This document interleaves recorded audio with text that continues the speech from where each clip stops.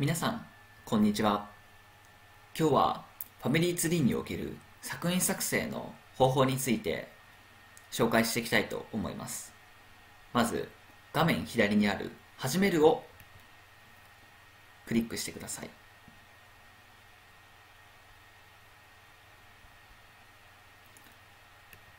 自分のユーザー名パスワードを入力しサインインをクリックしてください。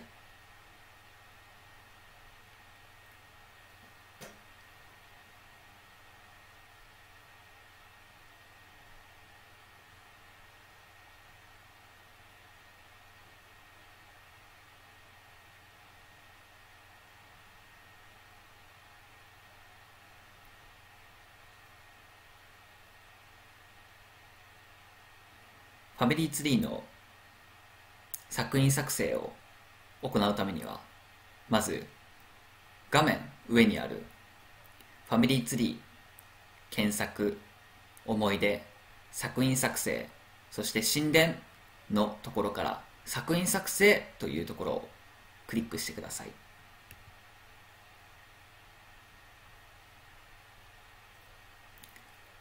今出てきたページが作品作成の概要のページになります。作品作成は概要 Web 作品作成プロジェクトを見つけるヘルプリソースの4つのパートからなっています。作品作成の詳しい説明はこのページの一番下のファミリーツアーチ作品作成についてというリンクをクリックしていただくと見ることができます。作品作成の作業の仕方。このビデオを見ていただくと作品作成とはどのようなものなのかよく理解できると思います。では概要に戻りまして作品作成の方法について説明していきたいと思います。まず画面上部の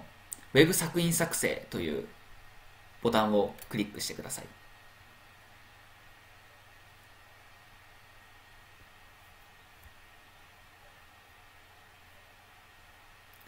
作品作成にはバッジなど少し専門的というんですかね。少し聞き慣れない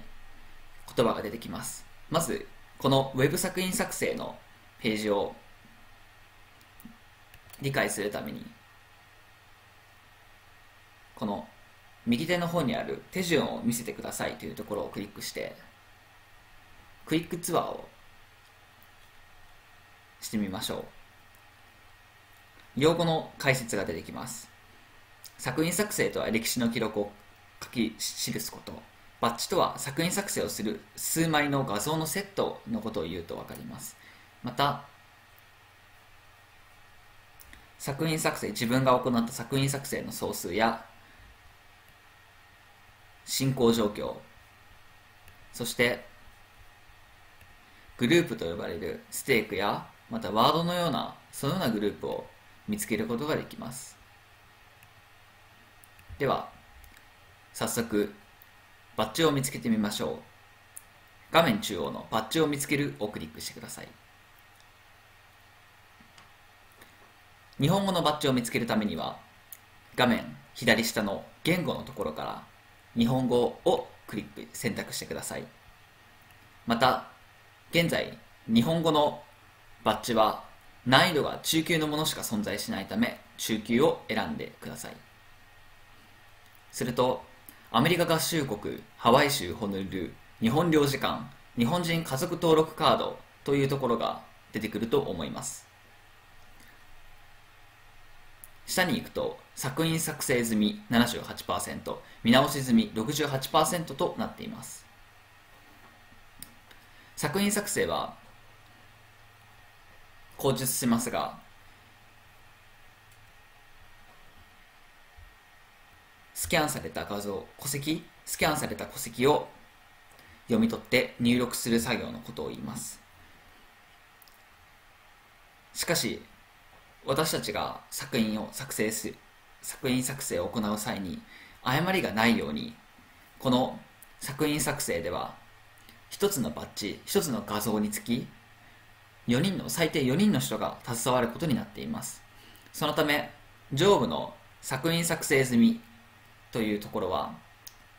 書き記す画像をもとにデータをウェブ上に入力したのが78%そしてそれが合ってるかどうか見直したのが68%ということがここで分かります。なので分からないところ不安なところは飛ばすことができます。他の人が見直しやまた手伝ってくださるのでどうしてもわからない場合には空欄で行うことができます。では作品作成を始めましょう。右側の作品作成のボタンをクリックしてください。